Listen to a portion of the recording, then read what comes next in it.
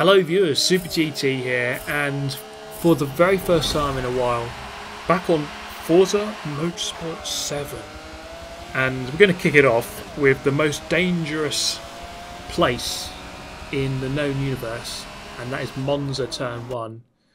And this is the beginning of the downfall of society. You can see it there as the Hot Wheels car comes flying in out of nowhere. And when that happens, it's a sign of true masochistic things to come as we come flying in here. I think we can look back at this incident as the beginning of the end. This is where the destruction began. This is where the nuclear bombs first fell. And it was a sad, sad time for humanity. Monza, turn one, that is where it all began. Um, but fortunately, that was just a bad dream. We continue through turn one in the trusty, ever trusty Ford GT from 2005. I'm in sixth place, or sixth place, as we come into the second hairpin, uh, chicane, and all manner of chaos kicks off once again, going all the way up into second place. So a grand rise through the ranks as I go into the wall there, Lesmo 1. Uh, unfortunately that race kind of ended there, as the leader was already about a million miles ahead. So we move on to Prague, going with the, the good old Viper here. And this was actually a really good race. This was an amazing race. As we come through turn one, lots of contact. And uh, the other Viper gets swung around. Now I was actually really enjoying my time back here on Forza, just taking it really nice and relaxed. I wasn't bothered about winning, wasn't bothered about where I finished too much, just choosing any old car and just giving it a good go and just seeing where I could finish. And I enjoyed it more, there was less pressure. As uh, we go past Marple here, up the inside, through the long corners. I've still got the uh, the track ribbon on the left, or the either side of the track, as I was last playing the uh, the regulations beta hopper. So that I left those on but the reason why I haven't had many videos, I mean, today releasing uh, releasing this video on a Tuesday, and my last video was Tuesday last week, so it's been a week. And I've had an injury with my foot, and I've been on so much medication trying to sort it out, and I'm basically in pain. So I set myself to the shadow realm, or I set my foot to the shadow realm, and I can't really recover at quite a quick rate. So annoyingly, I mean, I can play on the simulator, but ideally I need to sort of rest my foot. Of course, on the sim, you're pressing the pedals all the time. So that kind of prompted me to come over to the Forza world once again as we nice portion of contact. Stupid track limits here, ignoring them, as I think everyone else does. Uh, still not sure why the track limits don't just go to the wall on that chicane. But um, yeah, so that kind of prompted my return to Forza because I haven't played this in a while. I did make that uh, video about a week or so ago about what Forza 8 should get right or what it needs to get right for when it releases and that's quite an interesting topic which I think we can make another whole dedicated video on because of course E3 as I bottle this race here as I completely through the chicane of death here I actually got it all wrong on the pre-chicane of death but anyway, yeah, E3's just happened, and there was no announcement about Forza 8, no announcement at all. And but there was an announcement, interestingly, about Project Scarlet. So the next console, I don't know if it's the next generation or if it's sort of a new Xbox One X, sort of a new version of the Xbox One. I don't know how that's going to work, but um, that's definitely a very big topic for discussion as to whether Forza 8 will come out with that console. I think we can make an entire dedicated video about that, and I, and I will, because um, it's quite a big subject, of course, Forza 8, and whether or not uh, it's going to come out on that console. When when is it going to come out? We don't know. There was no date. Um, but they do need to get it right, of course, because Forza 7 was very disappointing upon release, and that was ominously um, matched with the release of the Xbox One X. Um, Project Scorpio, and this is potentially a release title potentially. We don't know. Potentially release title for Project Scarlet, whatever that may be. But we have to wait uh, keenly for that. As I run this guy slightly wide, but he just gets the run into the love tunnel.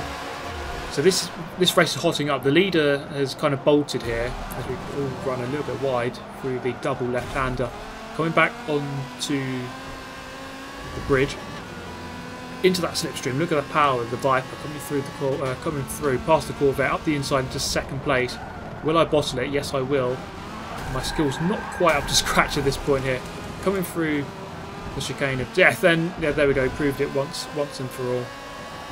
As he um, rests in peace. I'll say rests in peace, but actually rests in fire and flames as he gets caught up in an inferno there through the chicane. And we're going to come through to finish third. Really good race though, really good fun that. As we move then to the Bernese Alps and a nice tidy pile up with the Ferrari F50 facing the wrong way. Finding our way into the top 10, coming through turn number one at the top of the hill. What is going to go on here? Actually, not too bad, quite clean, fairly clean. We've gone for the Aston Martin this time around as we find our way through this fast chicane. Far too many people making contact with each other and it's only going to slow them down. Gain a couple of positions and find myself now in seventh place. It's coming down the hill, fast sweeping corner, and all of a sudden a big pack of discos appeared there. Not sure why, not, really not sure why, but just seemed to happen. Quite unusual as we come through this turn. Now you might be able to hear a load of people talking in the background. I forgot to disable party chat or disable game chat by going into my own party, but that explains why you might hear some murmurings in the background, some chatter. As there were quite a few people. It's actually refreshing, you know, to hear that because it's been quite a long time. I think. I think the party mode kind of killed game chat in many ways, as people sit in parties and talk that way. But it's nice to kind of hear people talking in the game, and they weren't smack talking each other. It wasn't some baby crying in the background or some parent shouting at a kid. It was actually just a couple of grown adults just talking reasonably about the races that they're doing. So that was a, a refreshing change. Um, but that explains that. Find our way up into sixth place, coming through the fast sweeping chicanes once again. And I actually really like this version of Bernese Alps. I think this is the best circuit of Bernese Alps, this short one is. This Ferrari comes in for the dive bomb of the century and I retake the position. That was almost certainly never going to work. The, the Phantom Discos packet returns and again just really not sure why. Just can't just can't figure out why that Discos packet was keep coming back on that corner. It was it was just an absolute mystery to me. Uh, coming through at the end of lap three, or sorry, end of lap two to finish that lap in fifth, up to fourth past Marple. He seemed to be having a tough time in his classic Porsche. And then on the final lap, that four of four, we're going for the podium. I think I actually raced okay. It's weird because um, you know you can come back to a game after so many times not playing or so so long not playing it, but it all comes back quite quickly. I think with Forza, I think the main thing you really have to get used to is just throttle control and then coasting through the corners to really get the best turning ability of the car. So it does require a lot of patience to get right, but I think once you get those little factors down, then you actually get back into this game quite quickly. You never quite lose it, do you? Not that I really had it to begin with, but we crossed the line in third, so decent result there. And this was a really good race as well. Uh, Noble M600 at Spa, so coming down into turn one, and you're pre predicting uh, a maelstrom of chaos, but it actually doesn't happen as I take quite a nice, tidy, tight line and escape the mayhem. And presumably, quite a few people died back there, but we didn't catch that on camera. So, in third place, coming through Eau Rouge, doing my best to try to obey the track limits. I think I just failed in my quest at the top of the hill. As we come through the Kemmel Straight into the chicane, and just going to fast forward a little bit. So Marple in that Porsche, I think, is really track dependent, as it normally is, depending on depends on which kind of track that comes up. Your car will do better or worse, and I think this is one of the tracks where his car did very well. So he's kind of kind of run off into the distance, but we've got a nice little battle here with the Belgian, sorry, Bel- with the Brazilian in also the M600. I think the M600 is a very, very solid car for S Class, which is what we are racing here. And I think S Class for me is my sort of go-to de facto class. It's the one I normally go back to when I'm unsure with what to race. I always race S Class. I've always preferred sort of S and A class, that kind of region. As once you get to R, it gets maybe a little bit too quick and the racing quality drops. And when you go down to like C, um, the speed just feels a little bit too slow. Although the racing can be very close, the racing can be very, very good in the low classes. In fact, it should be closer. You can race much closer with each other because the reaction times aren't quite so high or quite so sharp. You can afford to be so close to each other in those lower lobbies. But I just feel like the speed isn't quite there.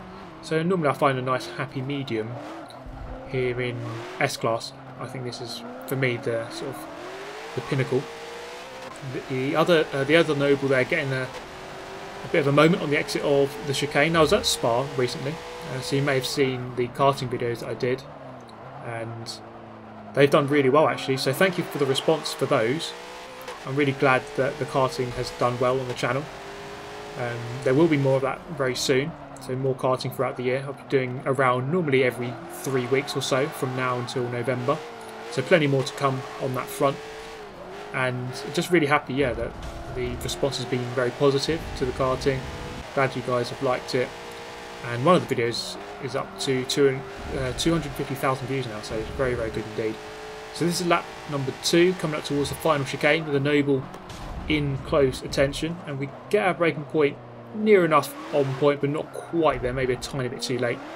Just enough though to keep the position as we cross the line to be in the third lap.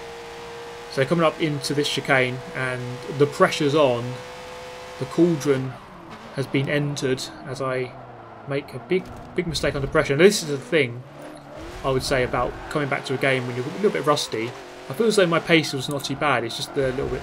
It's just the consistency that, that uh, eludes you when you come back to a game after a long time out.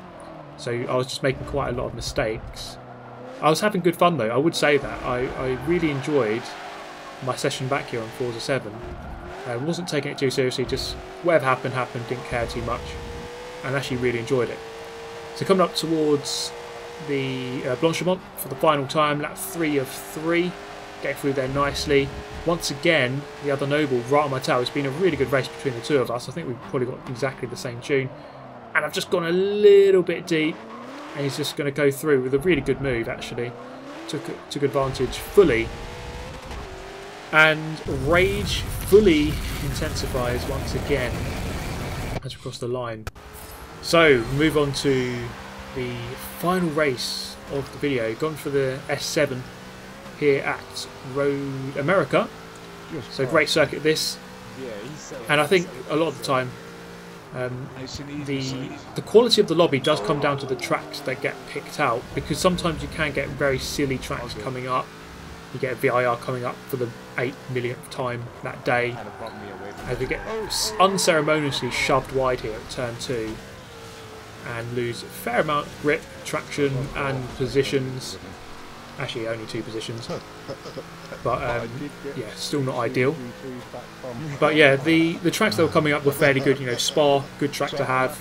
The Prague circuit was uh, one that worked quite well in these in these cars. Road America works well in S class, but you just don't want the, oh, the really small tracks coming up too much and that is something that I would say needs to be really fixed for the next game. I did mention, actually, I don't think I really mentioned this in my what FM8 needs video. I, I, kind of put it up in text during the video, but Forza 8 really needs a better track voting system because it really is horribly skewed to the tracks that have more configuration. So VIR comes up so often because it has about 10 different configurations. And then of course when you scale up because of the different weather as well you've got nighttime you've got rain then you've got like 30 configurations whereas Laguna Seca has only got one which is Laguna Seca forward during the day. Uh, so there's this massive sort of imbalance in the voting system. And surely it would only take you know it would take one person a few hours just to go through all of the hoppers and just make a list of every track. And you know, all you need to do is make a table, all of the hoppers on one side on one axis, and then all of the uh, tracks on the other axis, and just go through and go this this hopper needs this track, this track, this track, this track. Get rid of a load of. So, for example, with the II, you can get rid of a load of the nonsensical ones that shouldn't be there, and just narrow it down to let's say just the main configuration during the day, and you can just get rid of all the silly configurations that don't need to be there, and then the vote should be a lot more balanced. Plus, I think nighttime comes up a little bit too often. Like it's, it's evenly on a par with daytime, but I think more people would prefer just to race during the day. I mean, that's just my thought, but maybe maybe other people don't agree with that. Um, but the rain as well, kind of imbalanced. The rain, I think, has had really sort of weird implementation in this game. Because most of the time you vote for rain, and it's not rain, it's day, or it's, it's normal weather, and then it's foggy for a lap, and then it goes back to daytime, which isn't rain at all. It's so the way that that's implemented is a little bit sketchy, and that was kind of one of the main features of the game in the trailers. Um, and and the demo. How the the wet weather is kind of really uh, powered by the Xbox One X, but the way that's actually implemented is actually quite strange. But that's just my thought.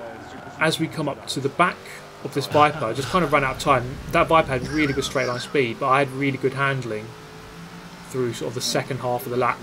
So through this half of the lap I wasn't good, but then through the second half I was catching up. I got through to finish second, so plenty of seconds and thirds on my mini comeback here. But ultimately, really enjoyed my time back in Forza 7. We'll make a couple more and we'll make a video on looking ahead to Forza 8. But that is it from me. Thank you so much for watching as always. Let me know your thoughts. Subscribe if you're new to the channel. And hit the like button if you did enjoy. I will see you next time. Thanks for watching. Goodbye.